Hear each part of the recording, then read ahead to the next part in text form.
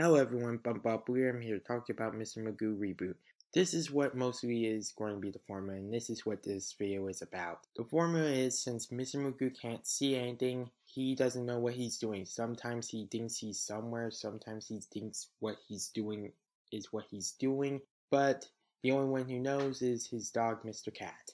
And since there's this villain and his minion wanting to take over the world, but Mr. Magoo and his dog, Mr. Cat, always stop him. Usually it's like this. It's all a coincidence that Mr. Magoo and his dog, Mr. Cat, meet the villains in every episode.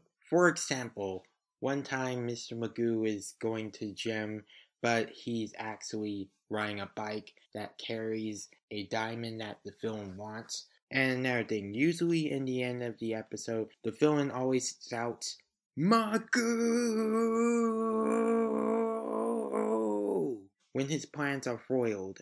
I like to say that mostly the dog is the reason why the villain's plans always fail.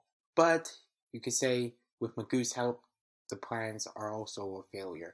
I like to say, for instance, if there was an episode about watching TV, and in this episode there was a remote, and this remote is actually the destruction device that will destroy the world. But Magoo has it, and he thinks that it's a TV remote, and he pushes a button that self-destructs the remote, and then thanks to his dog, he throws it, and then the theme song.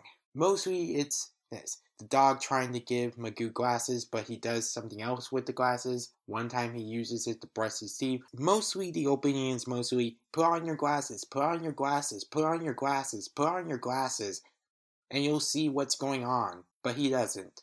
Okay, I'm to end this video right here. What are your thoughts on Mr. Magoo Reboot?